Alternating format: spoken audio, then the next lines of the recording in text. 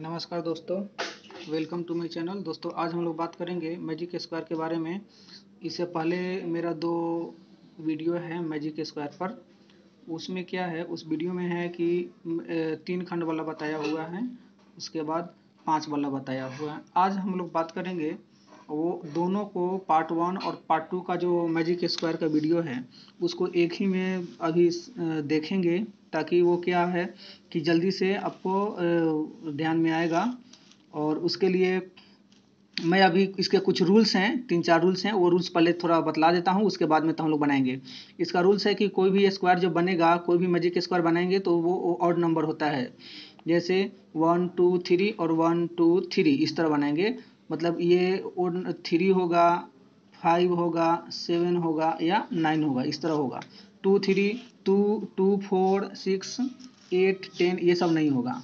तो अभी हम लोग इस थ्री वाले और फाइव वाले के बारे में जानेंगे। चलिए जानते हैं। यहाँ से स्टार्ट करेंगे। सबसे पहला जो रूल है, ये ओड नंबर होगा और दूसरा, ये हमेशा ये तिरछा से निकलेगा और जब ये निकलने के बाद सबसे लास्ट में आता है। तो उसके बाद फिर जब यहाँ से निकलेंगे तो फिर लास्ट में जाएगा। ऐसा नहीं है कि यहाँ से निकलने के बाद इसमें ये डिजिट को फिल कर देंगे। ये दूसरा रूल्स हो गया। तीसरा रूल्स है कि हमेशा जब यहाँ जो एंगल आ जाएगा तो इस एंगल में बाहर ये चार एंगल है ना, इसका कौन है एक, दो, तीन और ये चार कौन है तो बाहर नहीं निकल सकते हैं। उसके लिए क्या है कि इस, इसमें फिलिंग होने के बाद इसके नीचे से स्टार्ट करेंगे ऐसे। चलिए आप देख लीजिए, आपको समझ में आ जाएगा। वन से स्टार्ट करते हैं। ये यहाँ से निकलने के बाद यहाँ आएँगे दो, फिर निकलने के बाद यहाँ से थ्री। ये फिल है, इसलिए यहाँ से नीचे से फोर, फाइव, सिक्स। अभी ये तो एंगल आ गया तो इसके नीचे से स्टार्ट करेंगे। सेवन, इधर से एट और इधर से नाइन।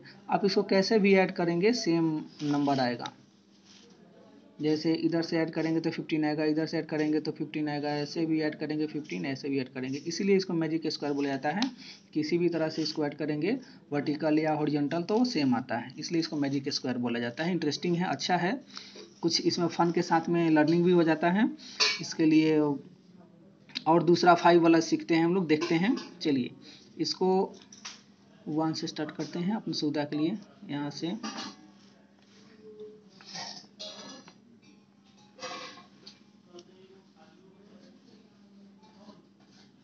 आगे वाला फिल है।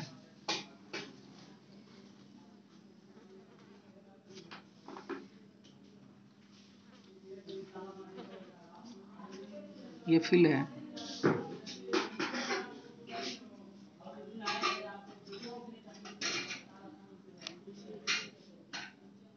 ये एंगल आ गया इसे, इसके नीचे से।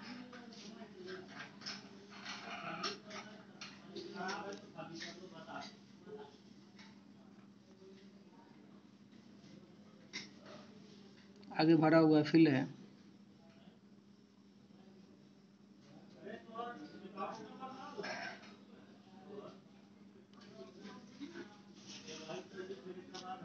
यहाँ से आएगा।